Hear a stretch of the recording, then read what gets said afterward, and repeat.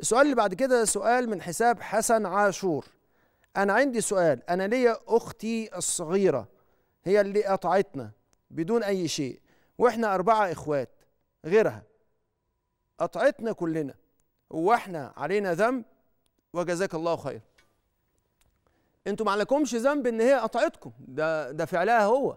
والإنسان لا يحاسب على إلا على فعله هو ولا تزر وازرة وزر أخرى.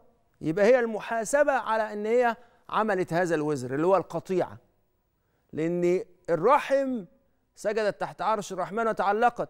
قالت هذا مقام لائذ بك. فحضرت فمولانا سبحانه وتعالى راح مكلم الرحم وقال لها ألا يكفيك أن أصل من وصلك وأن أقطع من قطعك؟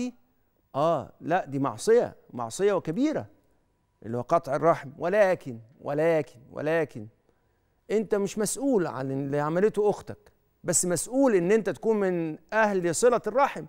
وصلة الرحم مش المكافأة. زي ما حضرة النبي صلى الله عليه وسلم قال ليس الواصل بالمكافئ ولكن الواصل من إذا قطعت رحمه وصلها. فحضرة النبي بيكلمك انت بيكلمك انت واخواتك الأربعة إن انت توصلوا أختكم. وخلوا بالكم دي بنت ممكن تضيع لازم تفضلوا محاجين عليها. حتى كرامة لأبيك وأمك. كرامة ل... للمن اللي رضعتوه مع بعض.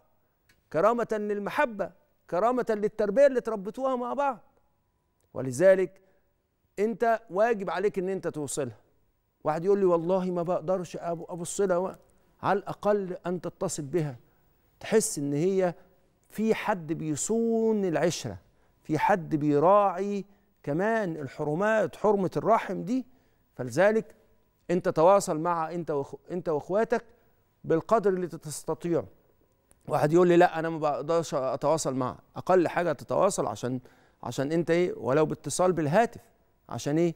عشان تبقى واصل لرحمك. اوعى تعمل بقى تقول لي انت قلت بقى اتصل بالتليفون ويكون عندك طاقة وعندك صبر وعندك مح... وعندك محبة لوالديك وعندك محبة لله ورسوله.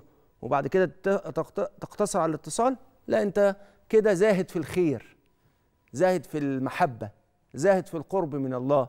اتصل مش علشانها اتصل عشان قلبك يلين. فبما رحمة من الله لنت له. آه يبقى عايز قلبك يلين تواصل ولين. مش هتكون أكتر من من حضر من حضرته صلى الله عليه وسلم حضرته علمنا النبراس.